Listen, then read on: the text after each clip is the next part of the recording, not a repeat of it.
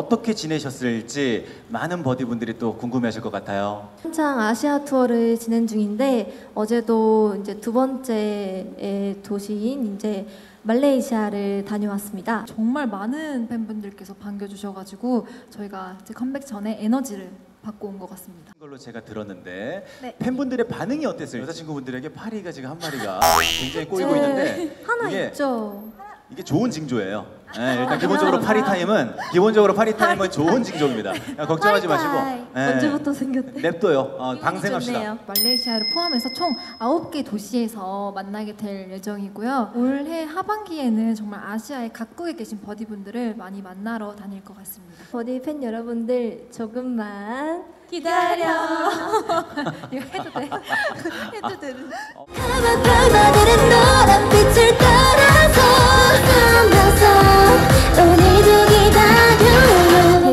앨범 Season of Glass에서 착안해낸 것인데요 어, 여름과 정말 잘 어울리는 저희 여자친구의 열정적이고 뜨거운 모습을 보실 수 있는 그런 앨범입니다 또 소개를 부탁드리겠습니다. 어, 네, 저희 열대야는요, 일단 밤이 되어도 식지 않는 열기를 열대야라는 단어에 비유를 한 곡인데요.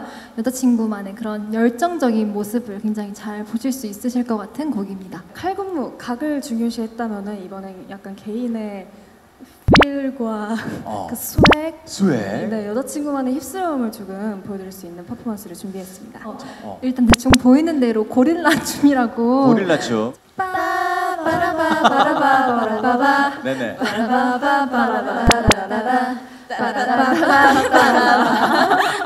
약간의 고개를 살짝 움직이면서 네네. 빠빠빠라밥 하는 게 포인트입니다. 아 우리의 전통 놀이. 따라단딴 따라단 빠 바라바바라바바라바바 네. 어,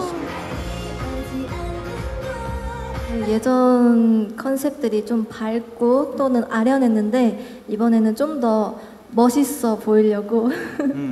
노력을 많이 했습니다. 좀 성장한 느낌을 많이 드리고 싶어서 아. 그래서 수록곡 녹음할 때도 유난히 또 신경을 더 많이 쓴 것 같아요 verse 파트라고 해야 되나요? 그 네. 첫 verse 파트를 맡은 게 Fingertip 이후에 처음이어가지고 아. 네, 굉장히 설레는 마음으로 또 신경을 많이 써서 네. 녹음했습니다. 이런 튀는 색으로 염색을 저밖에 안 해가지고 그러게요. 머리색 유지를 위해 굉장히 노력을 많이 했습니다. 그러니까 신비 씨 헤어가 거의 그린벨트예요. 너무 좋습니다. 청정지역이라고 보면 되죠. 네, 저도 어, 멋있게 노래를 부르기 위해서 굉장히 고심하고 연습해서 녹음을 했습니다.